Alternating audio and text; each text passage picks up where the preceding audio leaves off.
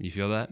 It's got a little bit harder to be a Nintendo fan. The GilvaSunner YouTube channel, a meticulous and massive archive of video game music, has vanished from the internet. Why? Well, Nintendo issued roughly 3,500 copyright strikes, which was the magic number, and the archivist who ran the project just decided to shut it all down. Nintendo destroying fan projects is actually nothing new, but what makes this situation particularly frustrating is that there currently isn't any official way to actually listen to this music. So, why did they even bother? My theory is that Nintendo is terrified of fandoms. Because when something good sits on the internet for long enough, people start to congregate around it.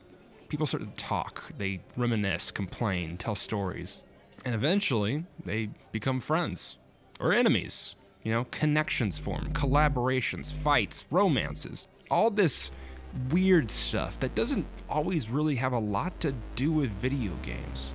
And when your job is to sell video game, well, why bother trying to understand all this weird when you can just make it go away?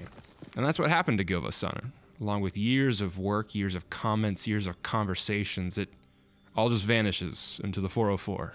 It's tragic, but rather than just pressing F to pay my respects, I'm actually going to ask you to do something. There's another project out there that still lives. I'd like for you at some point to just go look up your favorite video game song along with the word Siva Gunna you might enjoy what you find. Or you might hate it. All I can really promise you is that it'll be weird.